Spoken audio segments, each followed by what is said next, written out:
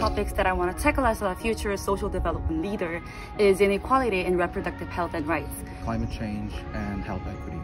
interdisciplinary cooperation, social cohesion, environmental injustice, climate financing, health for all, social protection, climate justice, violations of international law.